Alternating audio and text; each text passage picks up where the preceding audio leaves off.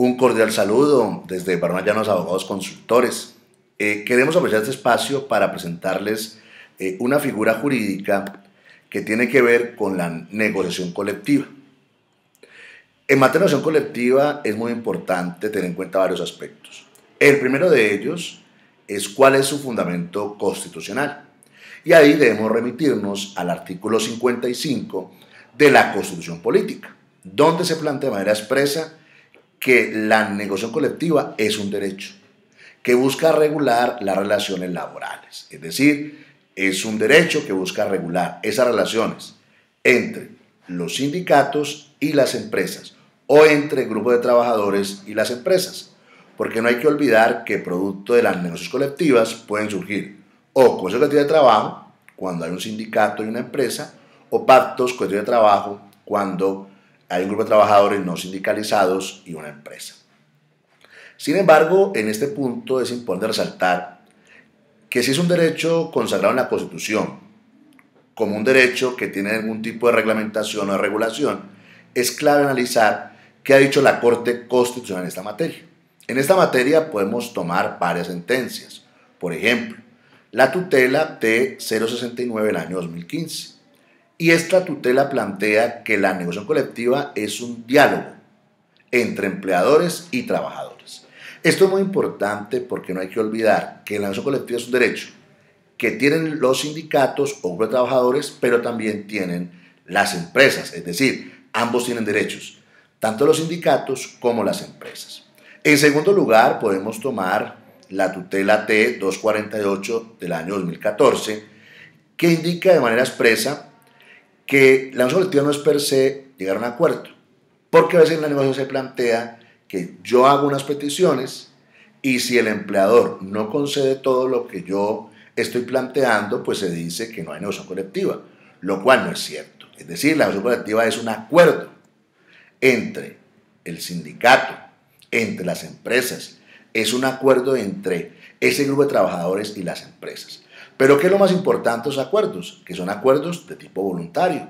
Y al hacer acuerdos voluntarios, pues no es que el uno le impone unos beneficios a otros o el otro le impone a otro unas condiciones. No, sino que se desarrolla de manera voluntaria. Y un tema final, teniendo en cuenta esta sentencia también de tutela, la T248 del año 2014, y es que la nación colectiva es una garantía indispensable para la relación sindical. Es decir, los sindicatos por regla general se han creado para la negociación. Sin embargo, es muy importante analizar eh, pues algunos aspectos prácticos que deben ser tenidos en cuenta en cualquier negociación colectiva. Y pues quiero remontarme a la entrada a normas internacionales en el país, que es la llamada figura del bloque de constitucionalidad. Ya que, ¿qué dice nuestra constitución? Que los documentos internacionales debidamente ratificados por Colombia hacen parte de nuestra legislación. Entonces, eh, pues para no hablar de esa figura, porque no es la idea, sí quiero expresar de manera muy concreta que hay muchas normas internacionales que hacen parte de nuestra eh, legislación, como el Convenio 87 de la OIT, el Convenio 98 de la OIT, el Convenio 151 de la OIT e igualmente el Convenio 154 de la OIT, que de manera expresa habla de negociación colectiva. Este Convenio 154, sobre el cual me voy a ocupar, tiene aspectos muy importantes. Primero, porque ha sido regulado en Colombia por la Ley 524 de 1999 y fue revisada su constitucionalidad en la sentencia C466 del año 2008. Entonces, de manera muy puntual quiero indicarles aspectos importantes de este convenio.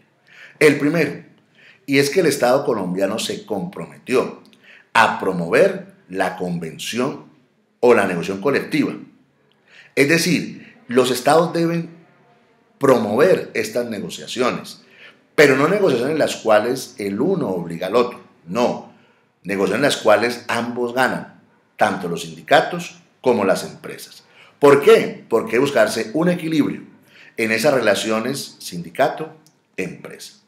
Es muy importante también, teniendo ese convenio, el 154, revisar cuáles son las partes de toda negociación. Tenemos por una parte un empleador y por otra parte pues tenemos un grupo de trabajadores o un sindicato.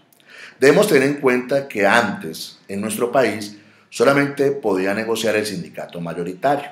Sin embargo, estas normas fueron declaradas inexequibles por la Corte Constitucional y han sido normas que han establecido a esa declaratoria de inexequibilidad de manera muy puntual que todos los sindicatos que se encuentren en las empresas pueden negociar con los empleadores.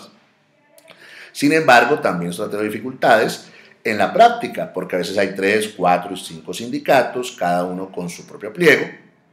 En el sector privado, porque en el sector público hay que unificar ese pliego, pero eso en la práctica ha generado dificultades de negociación. Yo considero que un aspecto importante a tener en cuenta sería poder que los sindicatos se colocaran de acuerdo, unificaran sus pliegos y fueran presentados de esa manera ante el empleador. ¿Para qué? Para que la negociación fuera mucho más eh, productiva. A su vez, un aspecto importante de este convenio 154 en materia colectiva es la buena fe. Y esto es muy importante porque la buena fe es de ambas partes, tanto del sindicato como de la empresa. Es decir, la buena fe asegura que hay una relación armoniosa entre los trabajadores y su empleador, porque no hay que olvidar que los trabajadores son enemigos del empleador, ni el empleador es enemigo de los trabajadores. ¿Por qué? Porque es una relación que a los dos les interesa. Al empleador, pues que sus trabajadores tengan condiciones laborales adecuadas, y a los trabajadores, pues tengan condiciones también adecuadas y armoniosas. ¿Para qué? Para que la empresa pues produzca rentabilidad, salga a flote, tenga mejores condiciones cada día, etcétera, etcétera. Es decir, los sindicatos no están creados para destruir las empresas, por el contrario, los sindicatos están creados de manera especiales para fortalecer el derecho al trabajo y la seguridad social.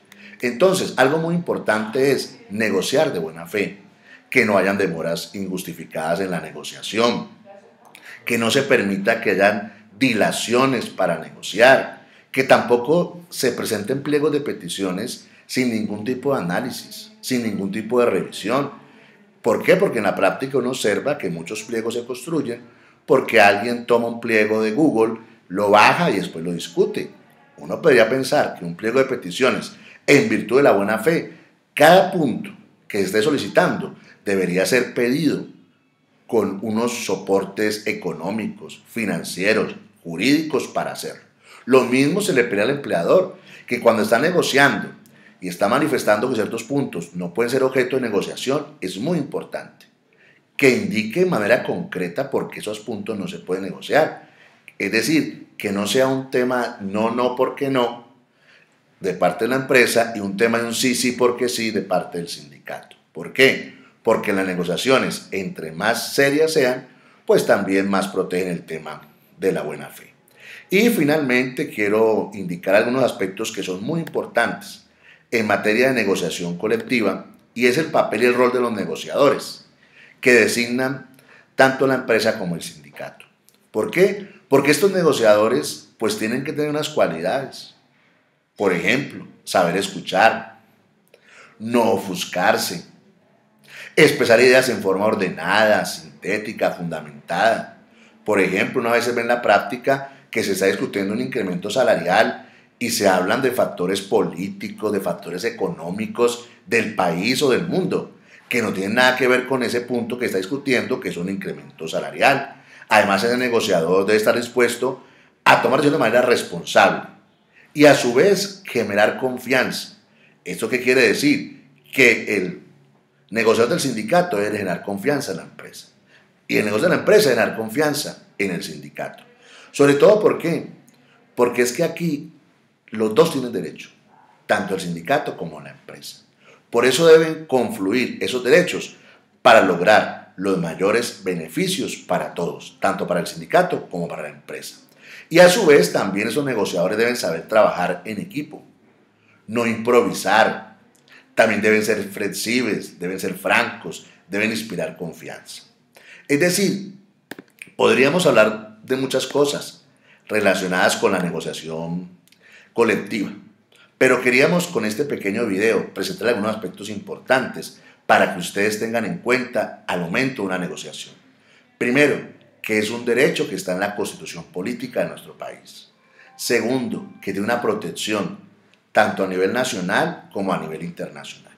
Pero con un aspecto muy importante.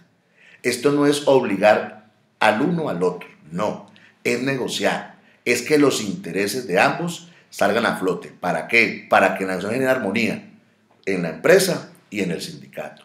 En tercer lugar, también al revisar estas negociaciones, yo los invito a que ustedes revisen este convenio 154 de la OIT y todo lo que ha hecho el Comité de Libertad Sindical sobre él, donde establece claramente quiénes son las partes que pueden negociar, donde establece claramente que las negociaciones entre más pliegos haya no son benéficas para las negociaciones, debe buscarse negociaciones unificadas, también deben buscarse unos negociadores con unas cualidades específicas. ¿Por qué? Porque una cosa es el tema jurídico y otra cosa es la negociación colectiva. Eso lo digo porque a veces en la práctica se discuten más temas jurídicos que de negociación.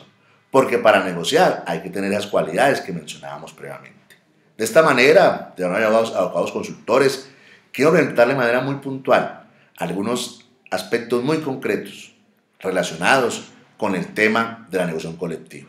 Igual los invitamos a que conozcan nuestra página www.baronallanos.org en la cual podrán consultar temas de actualidad y a su vez podrán conseguir nuestros libros relacionados con estos temas. Muchas gracias.